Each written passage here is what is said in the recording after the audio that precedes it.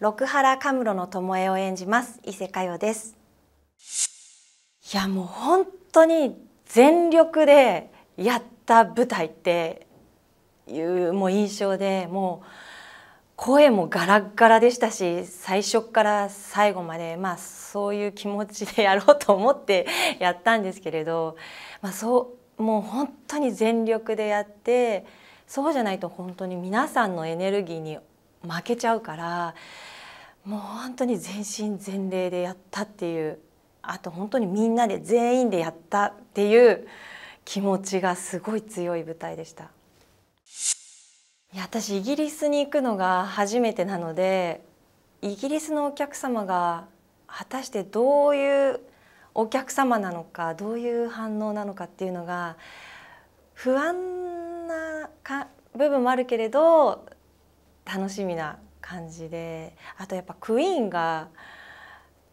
みんながきっとイギリスの方たちみんなが大好きな音楽だと思うのでその音楽を使った舞台を見てにしかも日本人がやっていてシェイクスピアもようなのも入っていてそれをどういう感想を持たれるのかなっていう不安ちょっぴり不安だけれどもうほとんどは楽しみな感じです。みんな誰かを愛しているっていうか結構こう Q って愛の話だなって私なんか改めて思っててで巴御前もこう義仲を愛していて愛する人を失うんだけれど殺したロミオを恨んで恨んで恨み続けるっていうのがロミオがもういなくなってしまったら巴御前のもう存在意義がなくなるぐらいロミオを恨むことを生きがいとしててそれってもうちょっと愛情に近いなって途中からなんか本番の途中からなんか思い始めてたのでなんか今回はもうちょっとそうもっとそれを踏まえた上でまた面白いことができるといいなって思ってます。やもうめっちゃ気持ちよかったです。なんか調子に乗ってやった舞台って 感じで。なんか演劇って結構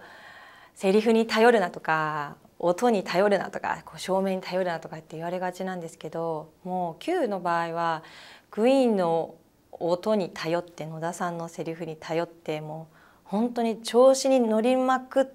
らないとできないみたいな舞台だったので改めてこう本当調子に乗って やらせてもらったなって思います。劇場に行ってお客さんの前で上演して一緒にその時間を過ごすっていうことの素晴らしさというか大切さみたいなのは自分がやることもそうですけど見る側で行った時にこんなにいろんなこう人間同士の交信みたいななんかこうこういう空間が劇場なんだなっていうのは改めてそうだなって自分自身が思ったのでまたね新たにこうやって劇場であの舞台をできるってなった時にまた違う立ち方であったりあのきっとお客様も違うこう思いで観客席からこういろんなエネルギーをくださるんじゃないかなと思ってそうですね楽しみです今。えー、Q の再演が、えーと、間もなく始まりますが、えー、もうますますみんなでパワーアップさせて戻ってまいりますのでぜひぜひ劇場でお待ちしています。よろしくお願いします。